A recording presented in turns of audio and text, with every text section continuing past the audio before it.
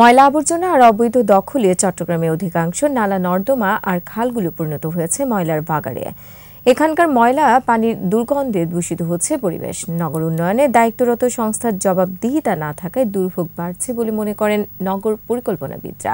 এদিকে যত্রতত্র আবর্জনা ফেলার বিরুদ্ধেও কঠোর ব্যবস্থা নেওয়ার হুঁশিয়ারি দিলেও কার্যত অসহায় চট্টগ্রামের মেয়র। চট্টগ্রাম থেকে বিপ্লব মজুমদারের ক্যামেরায় হাসান ফিরদৌসের প্রতিবেদন জানাচ্ছেন মাসুম আলিসা উনিশশো সালের সরকারি জরিপে চট্টগ্রামে চৌত্রিশ খালের অস্তিত্ব বর্তমানে এসে দাঁড়িয়েছে বাইশটিতে। বাকি বারোটি খাল এখন অস্তিত্বহীন।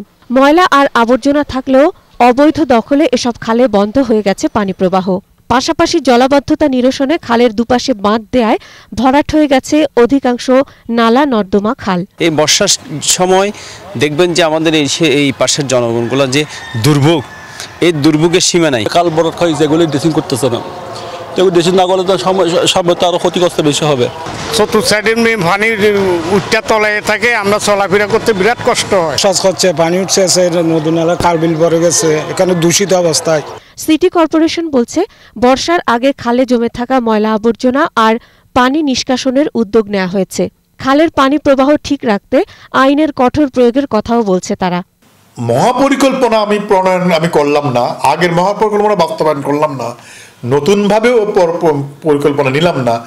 আমার কোনো কন্ট্রোলিং নাই সিটির মানে বিকাশের মধ্যে। এবং স্বতঃস্ফূর্তভাবে যে বিকাশটি ঘটছে এটি তো কোন সময় একটা নগরকে বিন্যস্ত হইতে দেবে না। এখন আমরা একটা কঠোর অবস্থানে গিয়েছি। সেটা হচ্ছে, আমরা বলেছি যার সামনে ময়লা পাবো এবং যাদেরকে আমরা ইয়ে করব ময়লা ফেলতে দেখব, খালে, নালায় তাদের জরিমানার আওতায় আনা হবে। এদিকে সরকারি বেসরকারি সংস্থার ওপর সিটি কর্পোরেশনের কর্তৃত্ব না থাকায় নাগরিক সেবা ব্যাহত হচ্ছে বলে জানান সিটি মেয়র।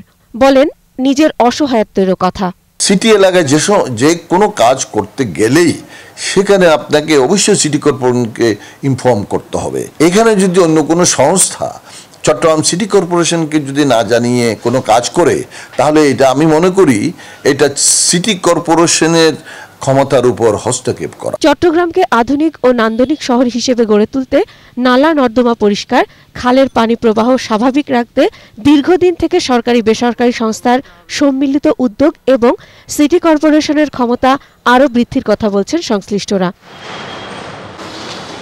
মাসুম আলিসা একুশে টেলিভিশন।